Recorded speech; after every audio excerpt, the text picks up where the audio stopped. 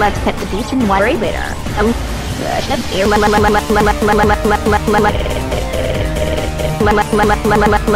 Um,